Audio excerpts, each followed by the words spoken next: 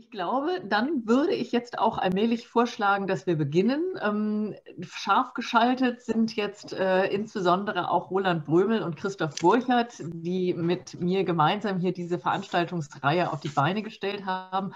Und wenn ich in die Teilnehmerrunde gucke, dann sehe ich, dass wir auch eine Reihe von wiederkommenden äh, äh, Zuhörern und Zuhörerinnen haben, erfahrungsgemäß, äh, das brauche ich dir nicht erzählen, Jan, wir haben genügend gemeinsame Veranstaltungsformate hinter uns. Äh, es klackert noch so ein bisschen eben dann dazu. Und äh, also insofern, äh, da wird sicherlich noch einiges äh, gleich kommen.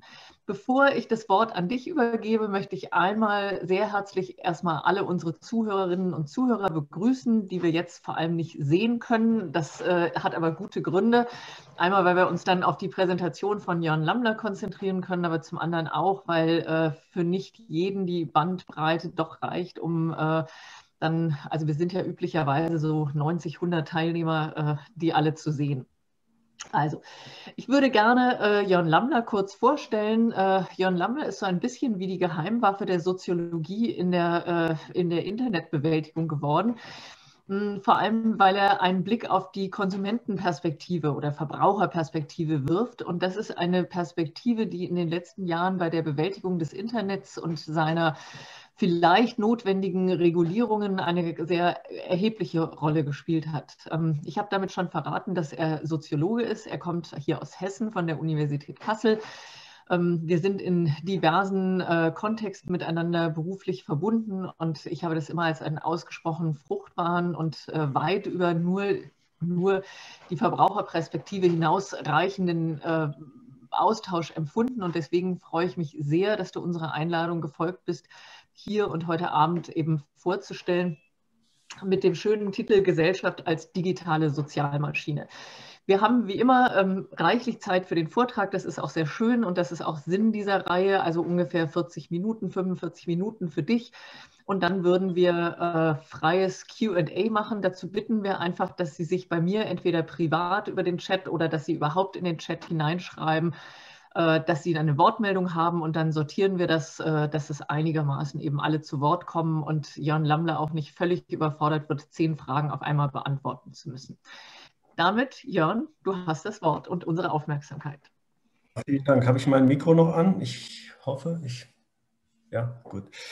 Ähm, okay, also dann äh, ganz herzlichen Dank für die Einladung. Äh, ich freue mich, äh, die Gelegenheit zu haben, vier Überlegungen ähm, äh, in, in, der Reihe Machtverschiebung durch Algorithmen vorstellen zu können. Ich, es klingelt übrigens dauernd noch. Ähm, ich habe gelernt bei den vielen Zoom-Konferenzen, die wir machen, dass man, wenn man auf Teilnehmerliste geht und auf die Punkte, dann die Möglichkeit hat, den Piepton abzuschalten. Ähm, das ist in einer Vorlesung mit 270 Leuten, die ich halten muss, auch immer ganz gut, wenn es nicht bei jedem Eintritt klingelt. Ah, Habe ich gerade gemacht, ist ausgeschaltet. Super, ja, vielen, vielen Dank. Ähm, genau, also ähm, genau, Gesellschaft als digitale Sozialmaschine. Ich zeige, ich habe 17 Folien oder sowas, das ist wahrscheinlich äh, zu viel, das ist immer so eine Krankheit von mir. Ähm, äh, und wie gesagt, ich bin auch fachfremd, also ähm, Soziologe und äh, es kann sein, dass ich irgendwann mal unverständlich bin, wo ich denke, ich bin eigentlich verständlich. Ähm, insofern kann auch gerne mal zwischendurch interveniert werden, wenn ich mal irgendwas erklären soll oder so. Ähm, das ist in etwa die Gliederung, äh, die ich äh, durchgehen möchte. Es sind also fünf Punkte. Ich werde ein bisschen einleitend etwas sagen. Ähm, dann will ich den Begriff der sozialen Maschine, warum ich den ausgewählt habe und was das damit auf sich hat, will ich ein bisschen näher vorstellen und ein bisschen beleuchten. Ähm, ich werde dann was zur Digitalität als sozial, soziotechnische Infrastruktur sagen. Ich will ähm, dann über Privatheit, Autonomie und Selbstbestimmung sprechen und am Ende über kritische Kompetenz in soziodigitalen Architekturen. Das sind alles erstmal viele Begriffe und viele Themen. Ich will aber damit deutlich machen, und das ist auch schon so mein, äh, mein nächster Punkt auf der Folie, in der Einleitung, dass mich dieses Thema Machtverschiebung durch Algorithmen sehr anfixt. Und ähm, äh, ich glaube, ich ähm, äh, auch versuchen werde, mit eben diesen verschiedenen Schritten, die ich da eben auf der Gliederung hatte, was zu diesem Thema Machtverschiebung durch Algorithmen zu sagen. ähm, und sozusagen meine Perspektive darauf zu entfalten. Und vielleicht ist das anregend im Kontext der Ringvorlesung insgesamt. Jedenfalls bin ich natürlich gleichzeitig auch sehr interessiert daran, äh, sozusagen aus diesem Kontext heraus Rückmeldungen zu bekommen, ob äh, ich möglicherweise da ganz daneben liege oder aber die Soziologie tatsächlich was zu diesem Thema zu sagen hat.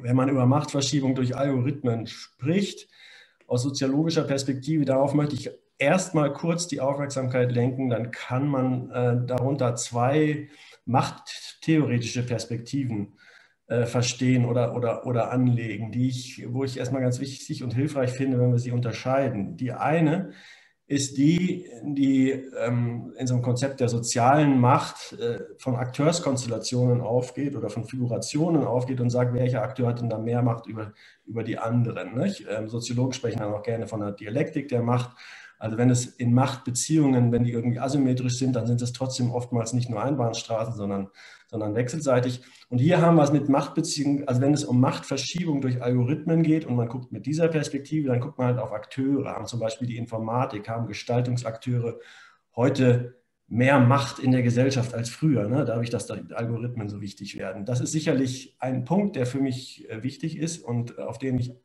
auch eingehe, aber es ist eben nicht der einzige, unter dem man ähm, Machtverschiebung durch Algorithmen soziologisch thematisieren kann, sondern man kann auch kulturtheoretisch darauf schauen und, und sozusagen in der historischen Entwicklung übernehmen Algorithmen generell immer mehr Macht über das gesellschaftliche Leben. Dann ist es nicht an Akteure und Akteurskonstellationen so eng gekoppelt, sondern eher als so etwas zu verstehen, wie wir aus den Formulierungen von Max Weber, ein berühmter Soziologe etwa kennen, der sagt, also der, die ökonomische Ordnung hat sich zu einem stählernen Gehäuse. Das ist sozusagen so eine Art abstrakter Zwang. Ne? Und so könnten die Algorithmen, Machtverschiebung durch Algorithmen könnte bedeuten, dass Algorithmen so eine Art äh, stählernes Gehäuse werden, dem wir uns immer weniger entziehen können. Und zwar die mächtigen Akteure genauso wenig wie die weniger mächtigen Akteure. Und ähm, ich möchte also deutlich machen, dass beide Gesichtspunkte für mich wichtig sind. Der, ähm, der sozusagen auf die gesamtgesellschaftliche äh, äh, Relevanzzunahme äh, von Algorithmen abstellt, als auch die Verschiebung von, von Macht zwischen Akteuren.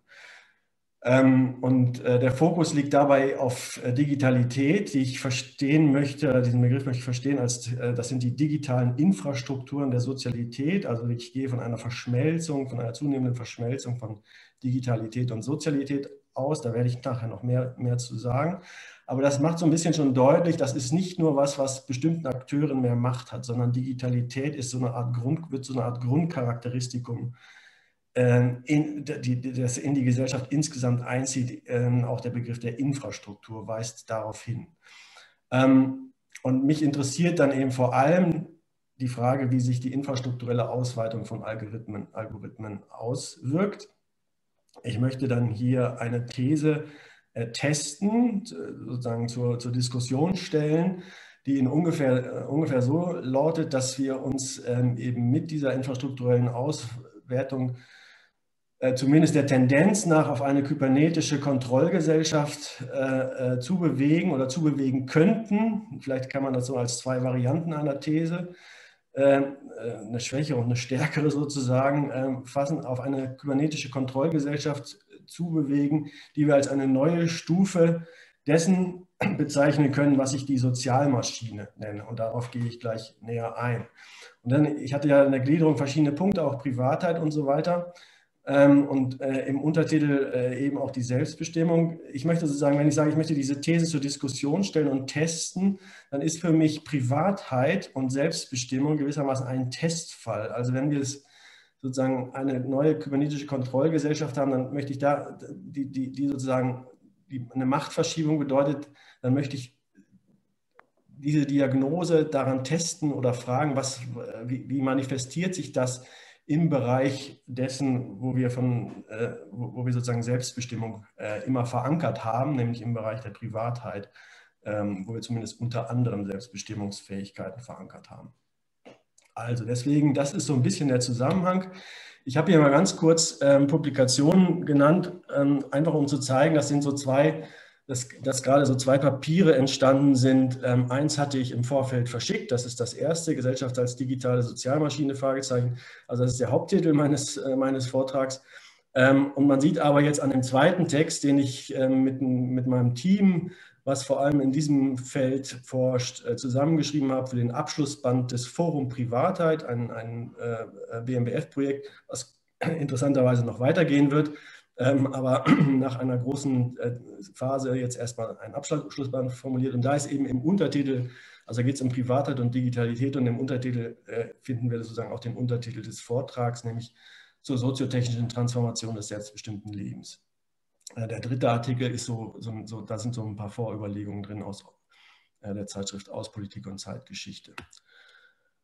Okay, komme ich also zu dem äh, äh, ersten Punkt. Ich wollte ein bisschen was zur sozialen Maschine sagen. Ne? Und äh, in dem Zusammenhang vielleicht auch ähm, zu dem Verhältnis von Mensch und Maschine, das äh, sozusagen äh, ja viel diskutiert wird heute auch im Kontext von KI und, und, und so weiter.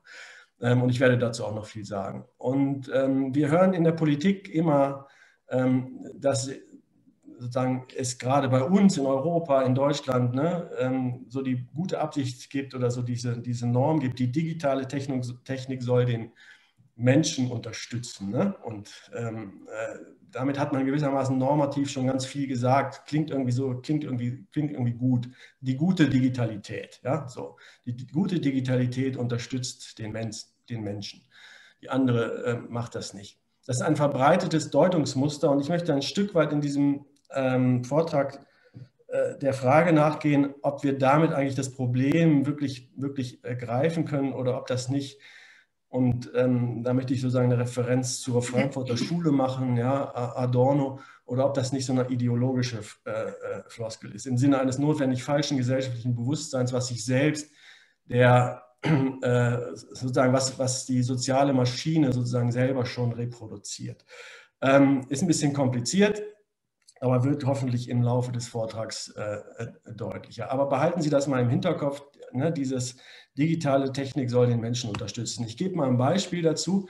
Es gibt nämlich äh, interessanterweise unter dem Begriff der Social Machine, ähm, und zwar dann, wenn sie im Plural verwendet wird, als Social Machines, da können wir also Twitter oder Wikipedia, verschiedenste Plattformen, Galaxy Zoo, also alles Mögliche, wo so Menschen und Maschinen zusammenarbeiten äh, in der digitalen Welt, können wir darunter verstehen.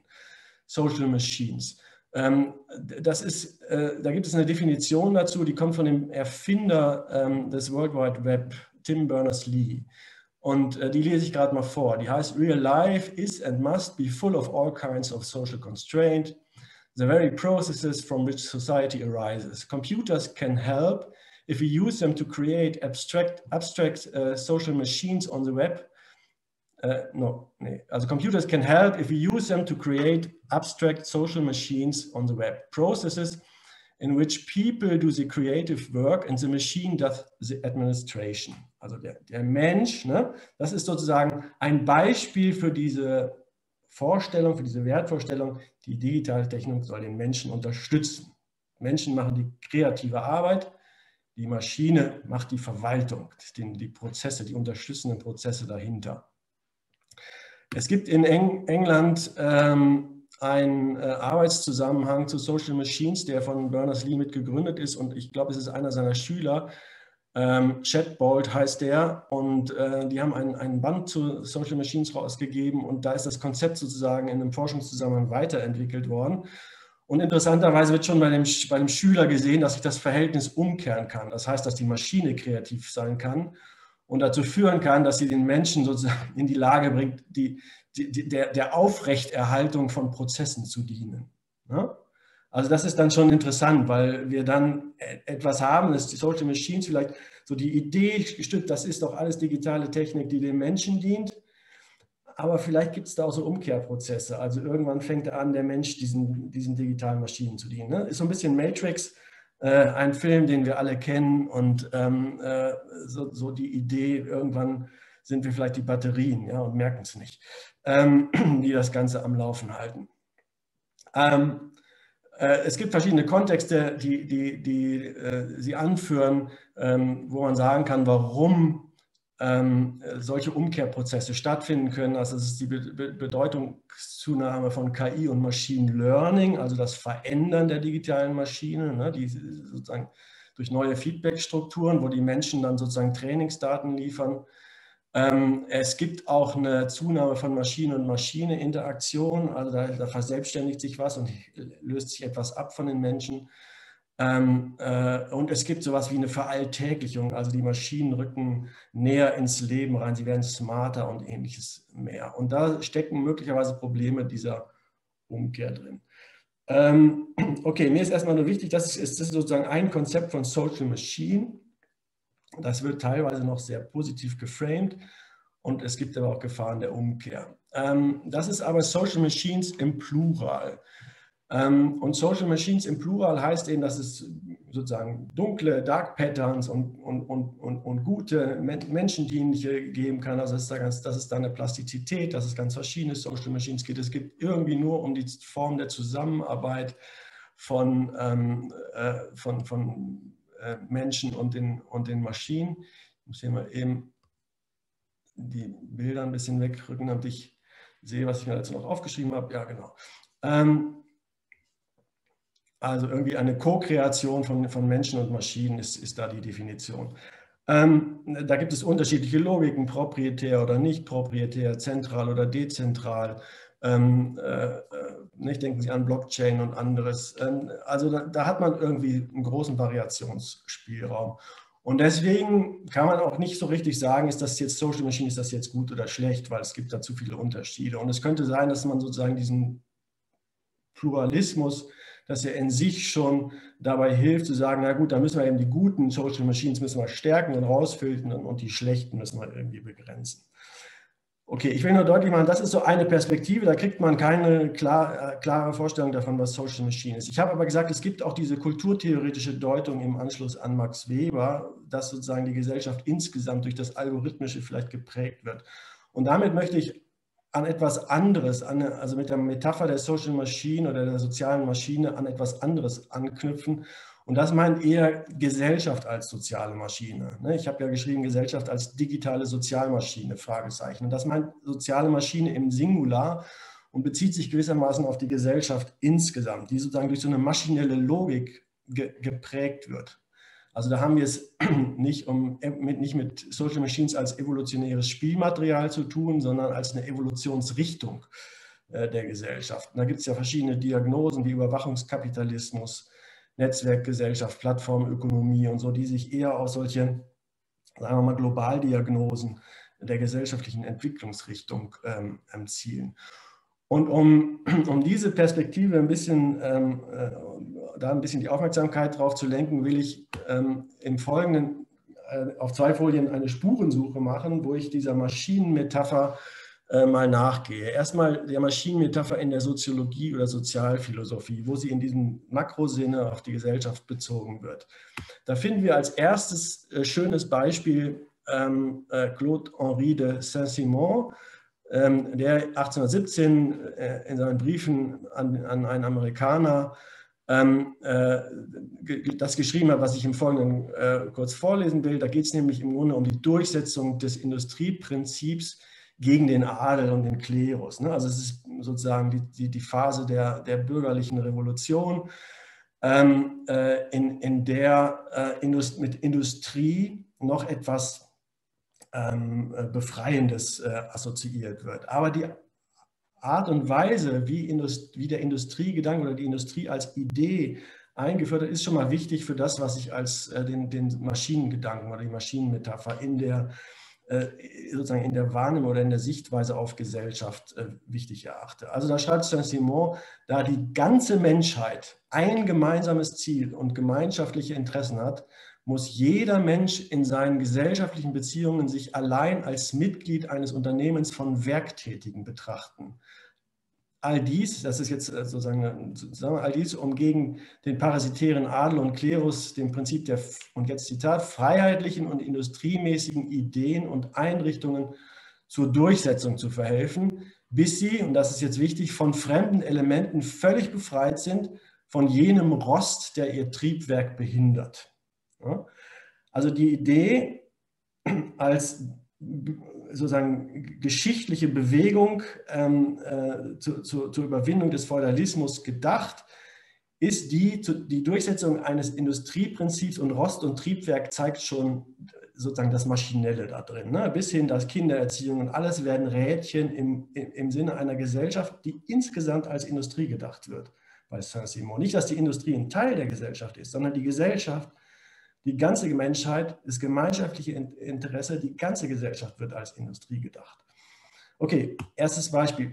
Zweites Beispiel, und da wird es schon nicht mehr so euphorisch wie bei Saint-Simon, sondern, ähm, ach so, und vielleicht noch ein kleiner Punkt. Also Saint-Simon hatte, ein, äh, ähm, hatte einen Sekretär, das war Auguste Comte. Und Auguste Comte ist ähm, der Begründer der Soziologie, interessanterweise, nicht? Oder sozusagen jemand, der den Begriff Soziologie erfunden hat. Und in, mit dieser Schule wird eine Auseinandersetzung verbunden, ähm, äh, wo, wo Comte lange überlegt hat, also welcher Begriff eigentlich für eine wissenschaftliche Auseinandersetzung mit der Gesellschaft geeignet ist.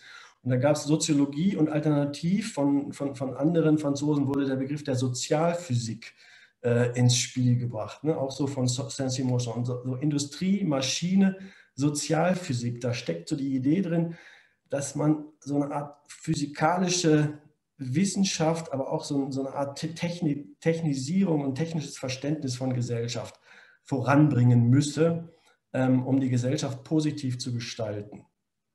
So, das ist sehr, sehr wichtig, weil in dem heutigen digitalen Zeitalter, da werden wir gleich noch drauf kommen, solche Begriffe wie Sozialphysik wieder eine große Rolle spielen.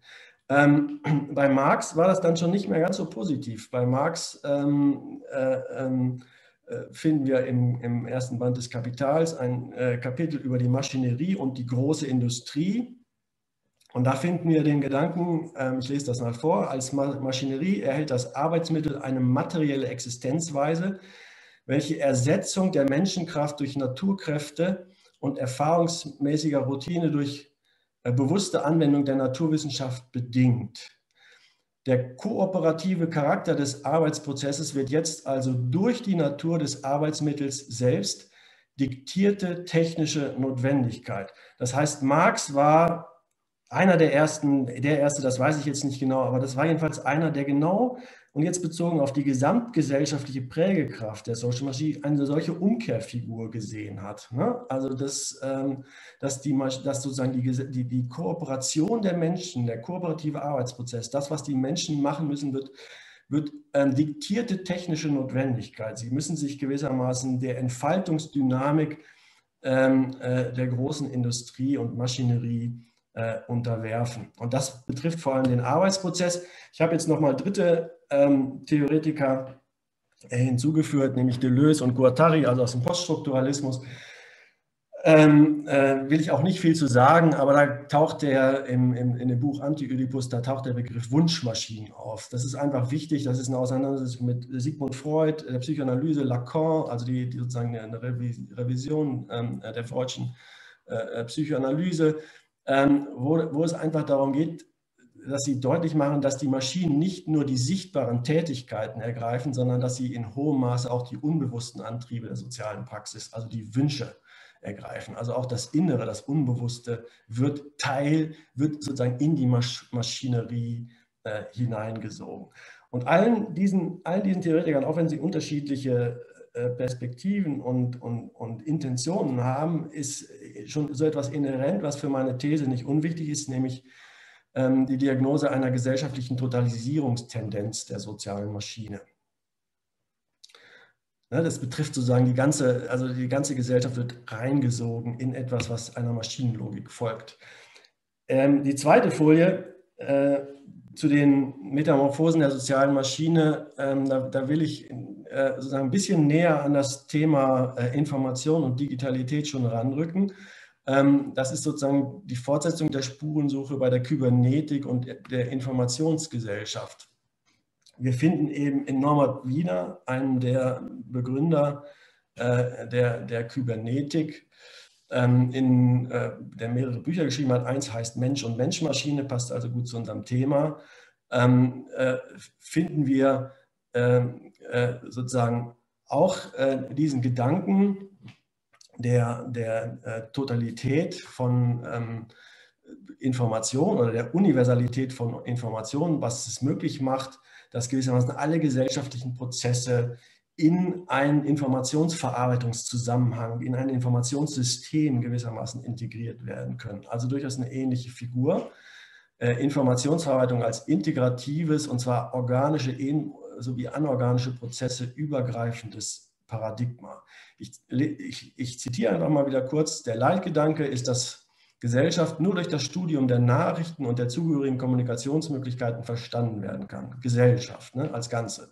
Und dass Nachrichten von Mensch zu Maschine, von Maschine zu Mensch und von Maschine zu Maschine in der zukünftigen Entwicklung der Nachrichten und Kommunikationsmöglichkeiten eine immer größere Rolle zu spielen berufen sind. Ne? Also das ist schon, das ist 1950, aber da steckt schon viel äh, viel drin von dem, was wir heute über Social Machines mit Chatbot und anderen äh, diskutieren, mit KI und so. Ähm, äh, wenn man nochmal den Begriff der Kybernetik fasst, ähm, dann äh, gibt es einen zweiten Begriff, der, da, der, der damit zusammenhängt, das ist die Maschine à gouverner. Ähm, das heißt, in dem Begriff steckt schon eine Idee drin, wie so eine Art ähm, Steuerungsmaschine, also Regelungskreisläufe, die irgendwie so eine Art, in, denen so eine Art Steuerungskunst entfaltet äh, werden kann. Also ähm, äh, auch das ist äh, wichtig, um sozusagen diesen maschinellen Charakter äh, sich klar zu machen. So. Und ähm, was äh, schon Wiener auch äh, gesagt hat, ist, dass aber sozusagen die menschlichen Gegebenheiten, die jetzt irgendwie in diese Maschine à gouverner hineingezogen werden sollen, die sozusagen von der Steuerungskunst, die sozusagen durch die Steuerungskunst gewissermaßen ergriffen werden sollen oder bearbeitet werden sollen, äh, verwickelt sind, schwierig sind. Und äh, wir finden hier so etwas wie, dass es deswegen, ähm, äh, dass, dass diese Maschine deswegen sozusagen auf Wahrscheinlichkeitsdenken äh, nur basieren kann. Also sie sind nicht eins zu eins äh, zu integrieren, sondern sie müssen über probabilistische Modelle, die müssen gewiss, sind gewissermaßen der Hebel, um Gesellschaft in die kybernetische Maschine hineinzuziehen und, unter den, und, und, und in die Verarbeitungs- Formen zu integrieren. Sie sehen unten, ich habe unten immer versucht, so eine Art Zusammenfassung dessen, was ich in der Folie eigentlich sagen will, äh, aufzuschreiben. Also ähm, es findet sowas statt wie die Modellierung der ganzen Welt durch Probabilismus. Das finden wir schon bei, bei Wiener. Ich habe Alan Turing noch aufgeschrieben, ähm, kennen alle, nicht? Ähm, äh, Turing-Test, Imitation Game, ähm, der Mensch und Maschine als einen Rechner bezeichnet.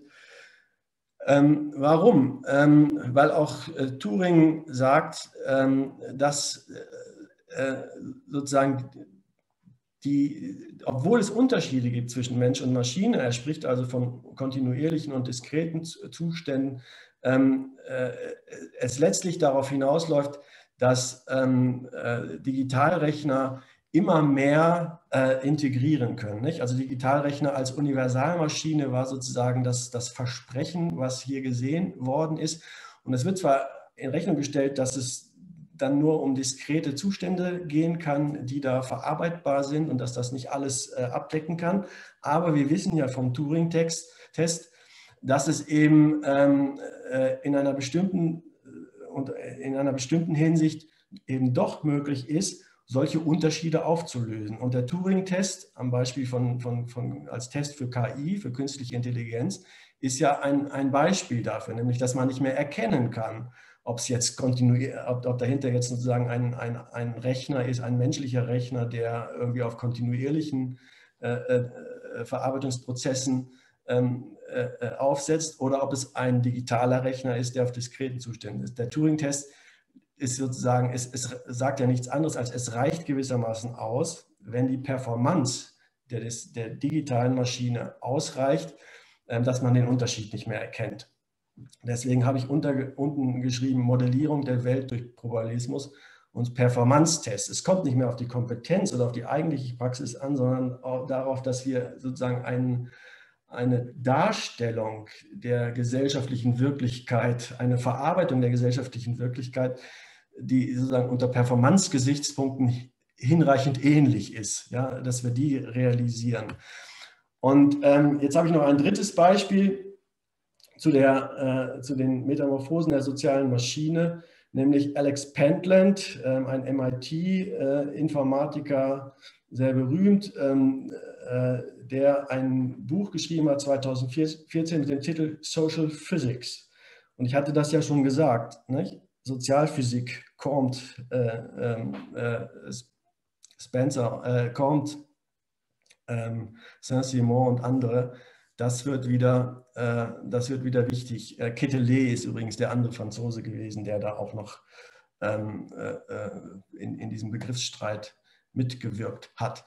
So, und ähm, äh, Alex Pentland in seinem Buch, ähm, das natürlich viel neuer ist, ähm, argumentiert jetzt, dass durch Big Data, durch viel, also durch, durch riesige Datenbestände, so eine Art Echtzeit-Soziometrie äh, möglich ist und eine Art Tuning sozialer Netzwerke, ähm, dass tatsächlich sozusagen diese Kybernet diesen, Kybernet diesen kybernetischen Traum einer universellen ähm, äh, Maschine, die alle Informationsverarbeitungsprozesse Verarbeitungsprozesse integriert, die diesem kybernetischen Traum schon ziemlich nahe kommt unter Realisierungsbedingungen, also unter den Realisierungsbedingungen nahe kommt, weil es eben, und da kommen jetzt Mechanismen hinzu, wie Verhaltensmodellierung und sozialer Druck ähm, in sozialen Netzwerken, weil es sozusagen möglich ist, mit diesen Daten und vor allem mit ihrer Echtzeitverfügbarkeit äh, ähm, steuernd auf soziale Zusammenhänge ähm, einzuwirken. Ne? Social Physics is a quantitative social science that describes reliable mathematical connections between information and idea flow on the one hand and people's behavior on the other. Ja? Also das Verhalten wird gewissermaßen in den Informationsfluss, äh, wird im Zusammenhang gesehen. Und dann heißt es einmal, so that we can reliably make better decisions and become more productive. Das ist natürlich alles, das ist jetzt wieder sozusagen diese normative Rahmung, das dient natürlich dann alles am Ende dazu, dass dem Menschen geholfen ist, bessere, äh, bessere Entscheidungen zu, zu fällen und ähnliches. Also digitale Technik für den Menschen. Nochmal erinnern, die, ich will nochmal erinnern, meine Frage ist, ist das mehr als eine äh, Legitimationsfloskel? Ähm, wenn, wenn Menschen, also wenn der Mensch angeführt wird als so etwas, was äh, den Werthorizont absteckt, ähm, für den wir das alles hier tun. Die nächste Folie ähm, gehe ich jetzt äh, kurz durch. Das ist ähm, die, die letzte zur Metamorphosen der sozialen Maschine. Ähm, Shoshana Zuboff, das Buch über den Überwachungskapitalismus. Hier habe ich einfach nochmal die bekannte äh, oder, oder wichtige Grafik rausgearbeitet, an der, ähm, äh, also wie kann man, wir können kurz sagen, an der Shoshana Zuboff das gleiche thematisiert, was auch ähm, Alex Pentland thematisiert, nur dass sie es eben problematisiert, während Pentland also die Gestaltungschancen der sozialen Physik betont, bezeichnet Subow dies als den neuen Überwachungskapitalismus und damit als eine ziemlich problematische Entwicklung. Aus Zeitgründen, aber wir können das gerne in der Diskussion noch machen, will ich diese, diese Grafik jetzt nicht so im, im, im Detail er, erläutern. Aber es geht ihr, es gibt eigentlich zwei Grafiken. Es geht ihr eigentlich darum, dass äh, Verhaltensdaten erfasst werden, erstmal nur um, um äh, Prozesse zu verbessern. Zum Beispiel die Google-Suche soll verbessert werden. Da guckt man, wann die Leute wieder wegklicken oder so. Dann, dann muss Google irgendwie was an seinen Suchergebnissen verbessern, bis das irgendwie besser funktioniert. Und dann irgendwann hat man entdeckt, dass äh, die, die Verhaltensdaten eigentlich viel mehr ermöglichen, als nur den Dienst zu verbessern und dass sich daraus ein eigener Markt entwickelt hat, ähm, um den dann der, Überwachungs, um den dann der Überwachungskapitalismus äh, gebaut wird, nämlich ein, äh, ein Markt für Verhaltensvorhersageprodukte. Verhaltensterminkontraktmärkte, das heißt für personalisierte Werbung und alles Mögliche mehr. Und darum ist sozusagen ja ziemlich viel in der digitalen Welt gebaut. Aber man könnte ja jetzt sagen, um, so what? Also warum finden wir das eigentlich mit der sozialen Maschine schlecht, wenn sie uns doch hilft, wenn sie uns stützt, wenn sie uns, ähm, wenn, wenn, also wenn sie uns Arbeit abnimmt oder so? Oder warum, was ist eigentlich schlecht an der Social Machine? Also Shoshana Zuboff ist ein Beispiel dafür, dass das kritisiert wird, aber warum eigentlich genau? Und das ist eben sozusagen mit, der, mit den Fragen der Algorithmen, das ist ziemlich wichtig. Ich habe jetzt einfach mal auf zwei Punkte äh, hingewiesen. Also eine Kritikgrundlage, die dann oft kommt, ist, äh, dass es eben ein Bias gibt, ne? dass es einen Reduktionismus gibt, dass wir es mit statistischen Kategorisierungen, denken Sie an das, was ich mit Probabilismus meinte, dass es, mit, dass es also eine statistische Kategorisierung gibt, dass irgendwie Emotionsausdrücke anhand von so ein paar Gesichtspunkten oder sowas gefasst werden und, und, und dadurch auch so Standardisierungen eine Rolle spielen. Ähm, das könnte irgendwie eine Reduktion sein, ein Bias. Aber ich, warum habe ich das hier geschrieben? Weil solche, ähm, weil, weil solche Quellen der Kritik natürlich keine Kritik an der Social Machine generell sind, sondern wenn man Bias sagt, dann sagt man gleichzeitig eigentlich, ähm, wir müssen sehen, dass wir den Bias verhindern oder, oder, oder ausmerzen. Also indem wir irgendwie das, indem wir nicht so reduktionistisch sind, sondern mehr einbeziehen. In die, in, also es ist eine Einbeziehungslogik, die dann daraus folgt, in die Social Machine. Das ist aber kein Argument gegen die Social Machine selbst. Oder Christoph Engelmann spricht von Rekursion über Körper. Das meint, dass wir, dass wir sozusagen als Menschen ja sozusagen Arbeit leisten, ähm, damit diese soziale Maschine lernen kann, gerade im Kontext von KI und ähnlichem mehr. Wenn es aber nur um die Arbeit geht oder dadurch, dass sozusagen Menschen ausgebeutet werden, wie in so einem Reallabor, dann ähm, ist das auch eher so etwas wie, ein, das, wie das, was ich eine Sozialkritik der Social Machine nennen würde. So nach dem Motto, ist es eigentlich fair entlohnt? Ähm, ist eigentlich, wird eigentlich die Arbeit, die da drin steckt, von ganz vielen Menschen, die so Crowd, Crowdworking machen oder oder Trainings machen, wird es eigentlich gewürdigt oder so. Und, ähm, und Sozialkritik, meine ich, könnte man so verstehen, dass man sagt, okay, da muss irgendwie über die Verteilung, über die Machtverteilung in der Social Machine diskutiert werden und vielleicht was verschoben werden. Aber es gibt eben auch andere, und das erinnert wieder an den Weber ähm, und die, da stählerne Gehäuse, zum Beispiel Lanier, ähm, die sprechen vom kybernetischen Totalitarismus. Also der Begriff taucht in, in seinem Buch Gadget so auf. Und ähm, äh, vielleicht ist das in Frankfurt bekannt, aber also sozusagen diese Unterscheidung von Sozialkritik und Künstlerkritik, also das ist gewissermaßen eine andere Quelle von Kritik und die interessiert mich vor allem. Nämlich es ist eher so etwas wie eine Künstlerkritik des Algorithmischen. Also finden wir eigentlich noch das, was außerhalb des Algorithmischen ist, findet das eigentlich noch hinreichend Anerkennung und Geltung und Kraft in der Gesellschaft. Ähm, also das geht dann nicht sozusagen auf eine auf die Art und Weise, wie die Social Machine ausgestaltet wird, sondern ob nicht in dem Algorithmischen selber das, das äh, Problem steht. Nicht, nicht sozusagen die Machtverteilung, sondern Machtverschiebung im Sinne von, von, von Gesamtprägung der Gesellschaft, die irgendwo was anderes, ein Residuum, ein Rest ähm, äh, unterdrückt. Eine letzte, letzte kurze Folie und ich merke, dass ich schon viel zu lange spreche, aber ich ähm, verspreche, dass ich das irgendwie so handle, dass ich die Botschaft dann doch, äh, doch rüberbringe in, in 50 Minuten. Ähm, und zwar äh, diese hier, ich finde das einfach, ähm, das fasst das Argument vielleicht nochmal zusammen. Ja? Also das kennen alle, dass man, dass man irgendwie ähm, äh, äh, beweisen soll, dass man not, not a robot ist, indem man gleichzeitig KI trainiert. Hier in dem Fall, dass man, dass man Kaffeetassen äh, raussucht, was irgendwie vielleicht ähm, Bilderkennungsprogramme sonst noch nicht so gut gut kennen. Ähm, das äh, würde ich also bezeichnen als die Ironie der sozialen Maschine, weil in der These der kybernetischen Gesellschaft, und das versuche ich deutlich zu machen, dass es Totalisierungstendenzen gibt mit gewissen Umwandlungstendenzen durch Performance, Probabilismus ähm, äh, und Verhaltensorientierung, also Behaviorismus, Verhaltenslenkung, dass es, ähm, dass es da Transformationsprozesse dazu führt, die eben doch zu einer Übermacht des Algorithmus führen. Deswegen würde ich sagen, die Ironie steckt darin, dass indem ich anklicke oder dafür indem ich beweise, dass ich not a robot bin, mich immer mehr zum Robot mache. Ne? Ähm, weil ich mich immer mehr sozusagen, weil immer mehr von mir, jetzt auch meine Fähigkeit, Kaffeetasten zu erkennen zu können, das, immer mehr wird gewissermaßen in die kybernetische äh, Kontrollgesellschaft hineingezogen.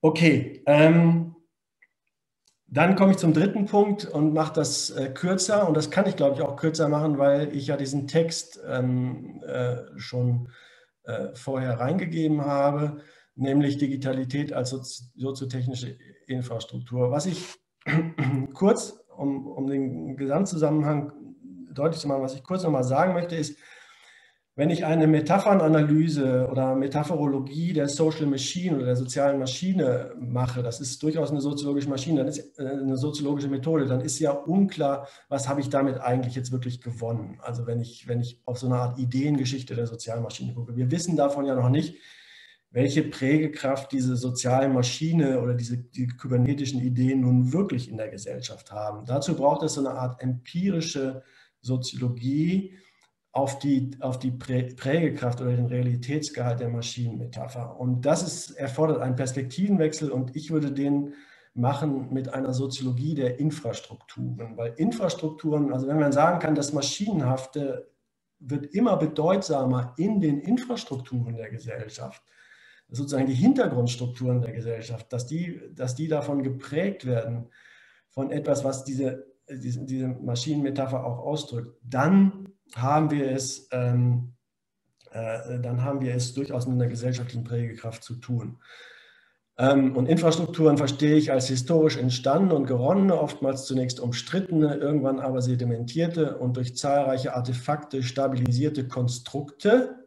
Also die sind nicht einfach da, sondern Infrastrukturen werden gemacht, die mit äh, Macht äh, in gesellschaftliche Prozesse und normative Ordnungen intervenieren und dieser Intervention durch ihre dingliche Präsenz und alltägliche Bewährung nachträglich gewissermaßen auch noch eine Rechtfertigung verleihen, weil sie einfach, ne, die Straßen sind einfach da, ähm, äh, das Internet ist einfach da und so. Also diese dingliche Präsenz von Infrastrukturen hat auch sowas wie eine ähm, normative Kraft des Faktischen. So. Ähm, was die Soziologie der Infrastrukturen macht, sie sagt, man muss eben trotzdem gucken, dass dahinter Akteure stehen, dass das ausgehandelt wird, dass Infrastrukturen nicht einfach vom Himmel fallen, dass es Prozesse des Blackboxing gibt, dass in Krisenfällen dieses, ähm, diese Blackboxes auch wieder äh, aufgebrochen werden kann, Infrastrukturen wieder sichtbar werden. Aber die Grundidee ist gewissermaßen, Infrastrukturen sind eine Zeit lang, wird, wird, verhandelt. Im Moment verhandeln wir mit Datenschutzgrundverordnungen viel über die Digitalität, aber irgendwann ist Online-Shopping normal, irgendwann sind irgendwelche Infrastrukturen äh, sinken gewissermaßen ab. Und ähm, die Soziologie der Infrastrukturen sagt, ähm, dass das nicht etwas ist, was gewissermaßen, auch das ist wichtig für die Akteurskonstellation die Machtverschiebung ne, durch Algorithmen. Also die Soziologie der Infrastrukturen sagt nicht, dass irgendjemand Infrastrukturen baut und dann funktionieren sie, sondern dass es hier ein Konvergieren von Technik und Praxis äh, braucht. Erst daraus entstehen Infrastrukturen, nicht rein top-down. Und ich glaube, das gilt zu einem bestimmten Grade auch für Digitalität. Aber wir müssen uns eben unter dem Thema Machtverschiebung durch Algorithmen die Frage stellen, ob sich in diesem Zusammenspiel von Technik und Praxis nicht doch die Machtgewichte verschieben. Also dass zum Beispiel neue Gestaltungsakteure ähm, äh, diejenigen, die eben digitale Infrastrukturen bauen, ähm, nicht doch mehr noch die Möglichkeit haben, auch gerade weil sie über, im Sinne von Pendland, ne, weil sie über eine Menge Daten verfügen, Big Data, weil sie über die in Echtzeit verfügen, weil sie damit ein gewisses Überwachungspotenzial haben, ob es da nicht doch eine Verschiebung gibt, dass die Art und Weise, wie eigentlich unsere Infrastrukturen sich entwickeln in der Gesellschaft, sich verschoben hat. Okay, und dafür gibt es, glaube ich, Anzeichen. Deswegen äh, ist es, glaube ich, nicht nur eine Metapher, sondern deswegen würde ich sagen, gibt es auch einen, äh, also einen empirischen Gehalt äh, dieser Verschiebung ähm, zur Social Machine. Nämlich, wenn wir an die Plattformökonomie denken, äh, durch die enormen Lenkungspotenziale, die diese Ökonomie hat, ähm, äh, es gibt Artikel, ich habe hier Plantin und andere äh, äh, zitiert, die von einer Infrastrukturalisierung von Plattformen und gleichzeitig von einer Plattformisierung von Infrastrukturen sprechen. Ne? Das heißt, dass also so eine bestimmte Form der Steuerung des Managements der Organisation gesellschaftlicher, sozialer Prozesse, wie sie, wo Plattformen für stehen, dass die gewissermaßen jetzt auch auf die Energieinfrastrukturen, auf die Verkehrsinfrastrukturen und alles Mögliche, dass das übertragen wird. Ne? Also Plattformen selbst werden zu Infrastrukturen und da, wo noch andere Infrastrukturen äh, bestehen, da werden sie auch plattformisiert. Ähm, also das ist schon eine Auswertungslogik. Wenn wir dann an smarte Technologien denken und so, dann gibt es noch mehr Gründe dafür, warum das sozusagen immer mehr, vorher war es, ein, vorher war es eine digitale Schnittstelle, ne? man hat einen Bildschirm und das andere Leben spielte sich woanders ab. Aber in einer smarten Welt gibt es diese Trennung gar nicht mehr zwischen digitaler Infrastruktur und, und Sozialität, sondern sie umfasst sozusagen immer mehr Bereiche. Und dann kommt das hinzu, was ich schon gesagt habe, Verhaltenssteuerungsmöglichkeiten, Trainingsprogramme, also die, sozusagen die Verschmelzung von Behaviorismus und KI, würde ich das mal eine neue, neue lernende äh, äh, Technik, die sozusagen diesen Prozess nochmal enorm dynamisiert. Ich gehe auf dieses Beispiel nicht ein. Ich äh, ähm, wollte nur sagen, wir, wir hatten einen Workshop gerade zu Bewertungsinfrastrukturen und man könnte jetzt an Bewertungsinfrastrukturen, das ist eine Sache, zu der ich forsche, könnte man das jetzt vertiefen, aber das müssen wir gegebenenfalls in der Diskussion machen. Ich komme damit und hoffe, dass ich jetzt noch fünf Minuten bekomme, Indra, sonst musst du mich, ähm, musst du mich unterbrechen. Aber ich äh, äh, würde dann jetzt noch zum Testfall kommen, weil ich gesagt habe, okay, die, die These ist, da ist es ein, eine Transformation zu einer neuen Form von Social Machine oder sozialer Maschine. Ähm, äh, und zwar jetzt als Realisierung der kybernetischen Kontrollgesellschaft ähm, im Gange. Und ähm, testen möchte ich das an einem Feld, wo ich, wo ich äh, auch viel forsche und wo man sozusagen, wo, wo man sozusagen so eine Art Gegenmoment lange vermuten kann und wo wir ja auch viel kämpfen, wenn, es darum geht, unsere Autonomie, unsere Selbstbestimmung zu, zu behalten, nämlich im Bereich der Datenschutzgrundverordnung, dass wir sagen, wir müssen dem Ganzen Grenzen äh, setzen ähm, und die Privatheit schützen und vieles mehr. Also da machen wir viele, viele Forschungsprojekte auch dazu. Und die Frage, die ich äh, jetzt äh, stellen will, ist, ähm, ob, also der Testfall ist, oder warum ist das jetzt ein Testfall? Der, der, den, das, was ich wirklich mittlerweile sehr spannend finde, ist, dass die These dann eine starke Bestätigung kriegt, wenn wir feststellen können, dass Privatheit selbst in die soziale Maschine hineingezogen wird weil dann der Zusammenhang zwischen Privatheit und Selbstbestimmung, den wir immer, äh, weswegen auch diese, weswegen wir für die Privatheit kämpfen, weil wir sozusagen dafür unsere Autonomie kämpfen, dass dieser Zusammenhang von Privatheit und Selbstbestimmung gewissermaßen auseinandergezogen äh, gezogen wird. Also weil, weil ähm, Privatheit eben selbst ein Teil der kybernetischen Kontrollgesellschaft wird. Und dazu habe ich in diesem zweiten Artikel, den ich jetzt nicht mehr komplett vorstellen kann, da haben wir das äh, im, im, im, Team, haben wir das versucht äh, nachzuzeichnen. Ähm, vielleicht mache ich das ein bisschen knapper und sage einfach mal die, Grund, äh, die Grundidee. Also auch unser neuer Landesdatenschutzbeauftragter Alexander Rossnagel äh, ab März dann äh, steht sehr auf diese Begrifflichkeit des Privacy by Design. Ja? Privacy by Design. Und das ist natürlich unglaublich gut gemeint, weil man möchte, dass Privatheitsgesichtspunkte schon in, das, in die Technikgestaltung eingebaut werden. Ich finde es immer schön, mit Begriffen zu spielen und man kann auch sagen, Privacy by Design ist vielleicht am Ende eine soziotechnische Gestaltung von Privatheit. Ne? Also eine designte Privatheit. Und zwar deshalb, weil sozusagen Privatheit als Gesichtspunkt, als normativer Gesichtspunkt immer mehr in diese Gestaltungsprozesse reingezogen wird, ist dann irgendwann auch Privatheit äh, das, was technisch gestaltet worden ist und, und, und, und nicht, mehr der, nicht mehr das andere der Informationstechnologie, was so eine Art Schutzzone sein soll. Ähm, kann ich jetzt nicht im Detail äh, darauf eingehen, aber ähm, Sie, Sie können, also wir können das dann in der Diskussion vertiefen. Sie sehen da unten so einen bestimmten Argumentationsgang, ähm, dass also Privatheit erstmal abgekoppelt wird ähm, von der Selbstbestimmungsidee, mit der sie in der Geschichte lange verbunden wird und es eigentlich mehr darum geht, funktionale Bereiche der Gesellschaft voneinander zu trennen, äh, kontextuelle Integrität nennt man das und, ähm, äh, und, und, deswegen also es eher mehr um die Regulierung von Informationsflüssen geht und gar nicht mehr so sehr um Selbstbestimmung.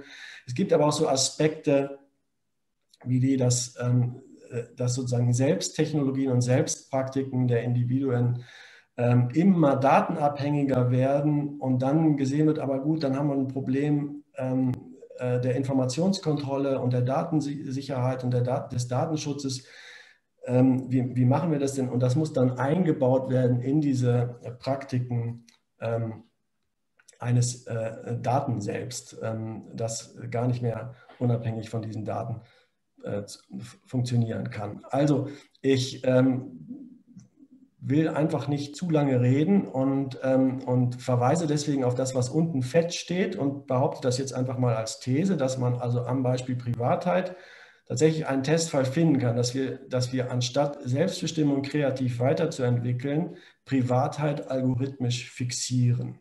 Wenn, wenn sich das, wenn ich, bei der, wenn ich die These äh, stärk, stützen kann, dann haben wir tatsächlich so etwas wie eine starke äh, äh Machtausweitung des Algorithmischen, weil sie auch um das, was sozusagen das Nicht-Algorithmische schützen sollte, wird, wird in die algorithmische Logik hineingezogen. Ähm, im Bundesnetzwerk Verbraucherforschung, die Folie kann ich wirklich überspringen, äh, geht es noch weiter. Nicht nur die Privatheit wird algorithmisch geformt, sondern Subjektformung insgesamt kann man gerade im kommerziellen Bereich, könnte man viel darüber diskutieren. Aber das einfach, wäre jetzt einfach eine nochmalige Ausweitung und Vertiefung, ähm, äh, äh, auf die wir zurückkommen können, aber die ich jetzt nicht unbedingt brauche, sondern ich kann dann jetzt einfach schnell noch zum Ausblick kommen. Ich bin zwar kein wirklicher Frankfurter, ich habe aber meine Zeit in Frankfurt gelebt und auch im, im Frankfurter Institut für Sozialforschung mitgearbeitet.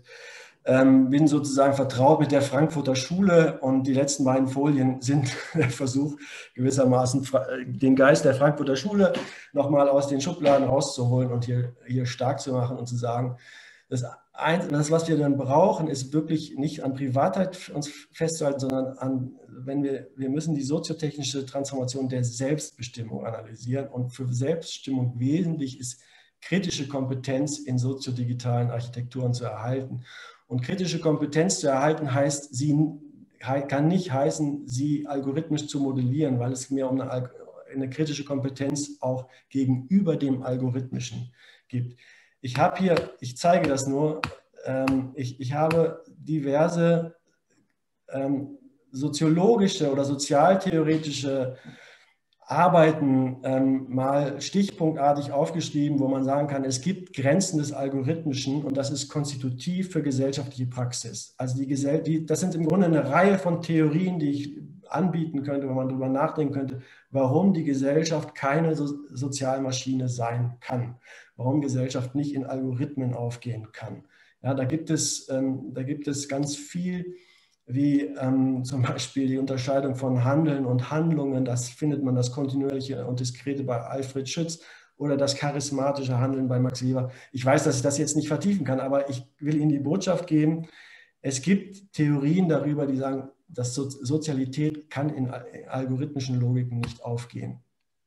Ähm, das kybernetische Weltbild sieht aber in all diesen Phänomenen eher nur Residuen dieses nach und nach durch Trainingsprogramme in die soziale Maschine einzubeziehen gibt.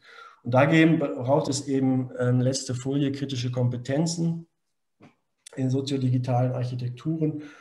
Und ähm, äh, wir können jetzt äh, über verschiedene Punkte diskutieren, wo man Ansatzpunkte für, die, für den Erhalt oder für die Reaktivierung dieser kritischen Kompetenzen findet. Nicht? Also zum Beispiel in äh, in Rechtfertigungs- oder Bewertungsordnungen, ähm, inwiefern die Öffentlichkeit das wachhalten kann ähm, oder anderes mehr. Und welche Rolle, das ist meine Abschlussfrage, die Frankfurter Schule äh, in diesem Zusammenhang äh, spielen könnte. Okay, das war jetzt zum Schluss ein bisschen schnell. Ähm, ich äh, habe aber einfach Angst, dass ich sonst einen Rüffel kriege, dass ich hier zu lange rede. Wenn, wenn ähm, äh, Indra sagt, ich soll das nochmal genauer äh, erläutern, kann ich das auch tun. Aber mir wäre eigentlich auch ganz lieb, dass wir äh, darüber ins Gespräch kommen.